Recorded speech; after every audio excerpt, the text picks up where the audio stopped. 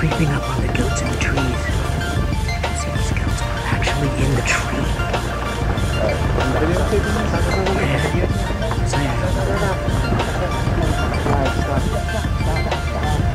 Goats in trees.